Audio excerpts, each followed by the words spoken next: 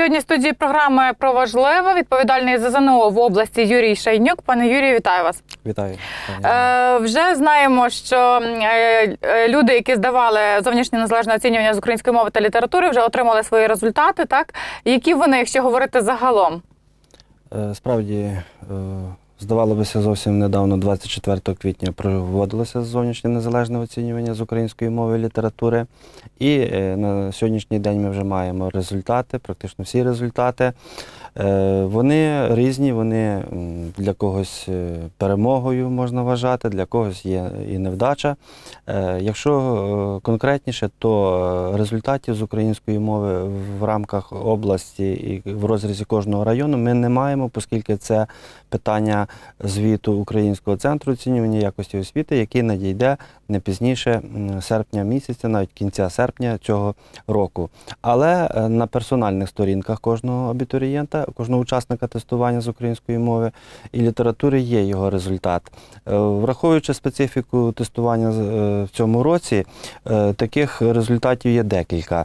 Ну, якщо це випускник е, 11 класу, то в нього є декілька оцінок, зокрема за державну підсумкову атестацію в 12-бальній шкалі, а також в залежності від того, яку, який рівень е, складності він обирав під час е, реєстрації і відповідно складав тестування, базовий чи поглиблений, то в нього є одна або дві оцінки, які дають право вступати у вищий навчальний заклад. Є поняття порогу, склав, не склав. Тому в нас е, є в цьому році особливості, які вже відомі. І тоді, якщо говорити більш конкретно, е, то е, зразу після оприлюднення результатів тестування, вони були оприлюднені, е, планувалося 12 травня, але в зв'язку з зміною порогу саме склав не склав. Е, То ці результати були оприлюднені 13 травня. Е, Після цього зразу відбулася прес-конференція директора Українського центру оцінювання якості освіти Ігоря Леонідовича Лікарчука, який заявив наступне: 19% в Україні випускників загальноосвітніх навчальних закладів провалили тестування, тобто вони отримали результат е, початкового рівня 1, 2 або 3 бали по 12-бальній шкалі. Відповідно, цей результат буде в додатку до атестата про повну загальну середню освіту. Багато це чи мало? Ну, в принципі, це багато, але це картина зрозуміла відома, адже справді е, пріоритет знань е, сьогодні в наших е, учнів, наших випускників, якби частково відсутній, ну, в частини, скажімо, випускників. І тому вони, е, мабуть, сподівалися, що їх результат буде набагато кращий. Вони були впевнені, я би сказав, скоріше самовпевнені у собі, і отримали, звичайно, такий результат. Разом з тим, за е, е, е, знову ж таки результатами цієї прес-конференції, 11% випускників отримали високий рівень навчальних досягнень. Е, 41% це середній рівень і 29% е, достатній рівень. Тому, якщо говорити про 11 і 29, це 40%, е, можна сказати, мають е, добрі е, знання.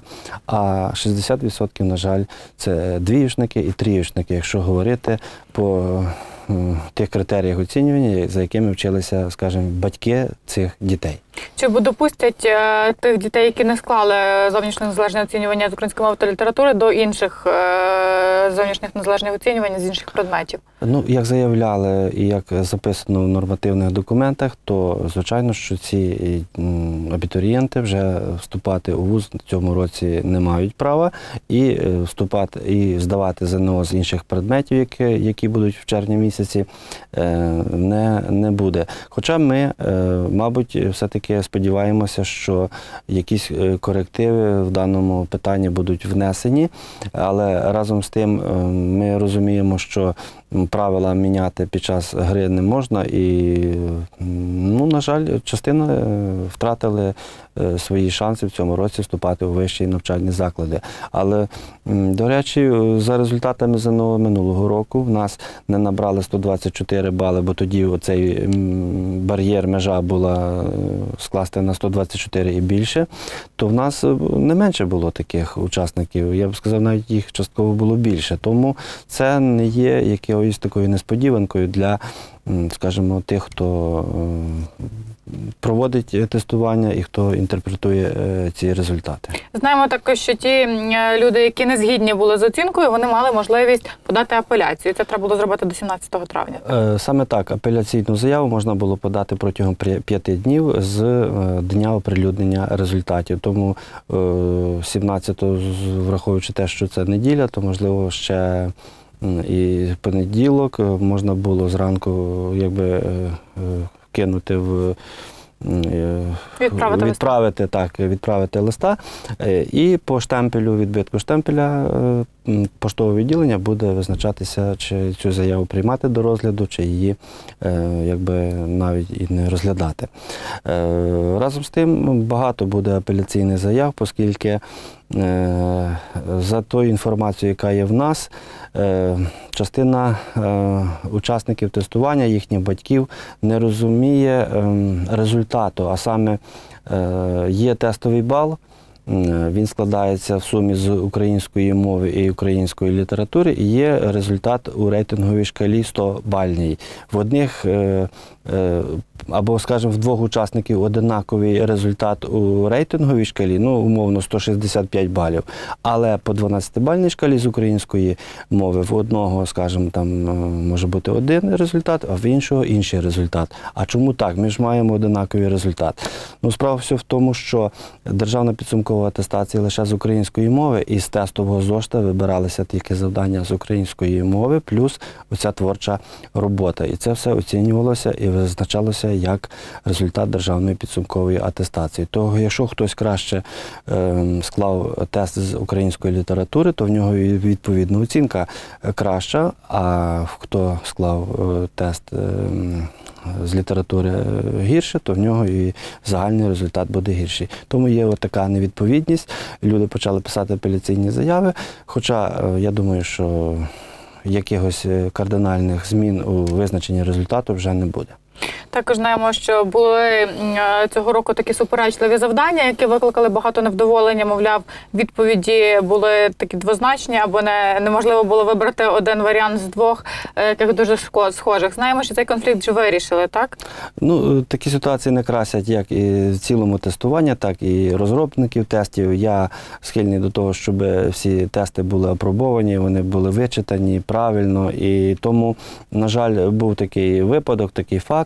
Ем, е, Апеляційна комісія та фахова комісія, яка засідала, вона засідала декілька разів і визначала, е, як е, вирішити даний спір. Так от було прийнято таке, на мій погляд, Соломонове рішення із п'яти проблемних цих запитань. Три зарахували по одному балу всім учасникам, незважаючи, яку вони відповідь дали правильно, неправильно. Тобто це були самі проблемні питання. А два питання, е, які залишилися із тих п'яти, е, було вирішено по них, що е, правильний результат це той, який визначила фахова оця комісія, яка засідала зразу після проведення тестування і визначала правильні відповіді на кожне запитання.